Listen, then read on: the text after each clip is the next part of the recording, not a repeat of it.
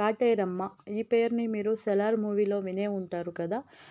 అసలుకి ఇది తమిళనాడు మరియు కర్ణాటకలో చాలా పూజలు చేస్తారు కాటేరమ్మకి. కాటేరమ్మ స్టోరీ వచ్చి శివుడు మరియు పార్వతి పడుకున్నప్పుడు పార్వతీదేవి లేచి వెళ్ళిపోయేదంట. మళ్ళీ మార్నింగ్ వచ్చేదంట. టూ త్రీ డేస్ అబ్జర్వ్ చేసిన తర్వాత శివుడు ఎక్కడికి వెళ్ళొస్తున్నావు? అంటే నాకేమీ తెలియదు. నేను ఎక్కడికి వెళ్ళలేదు అని చెప్పా చెప్పారంట పార్వతీదేవి. తర్వాత ఒకరోజు శివుడు పార్వతీదేవి వెనకాలే వెళితే శ్మశానంలో కూర్చొని అఘోర రూపాన్ని దాల్చి పార్వతీదేవి అక్కడున్న శవాలని బయటికి తీసి తింటుందంట. ఇది చూసిన శివుడు ఒకరోజు అడవిలో పెద్దగా గొయ్య తవ్వి ఉంచాడంట. తర్వాత పార్వతీదేవి లేచి వెళ్ళేటప్పుడు ఆ గొయ్యిలో పడిపోయిందంట. పడిపోయి పైనికి చూస్తే శివుడు ఉన్నాడంట.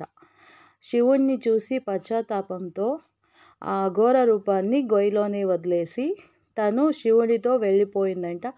అక్కడ అఘోర రూపాన్ని వదిలేసింది కదా ఆ అమ్మే కాటేరమ్మ అని చెప్తారు.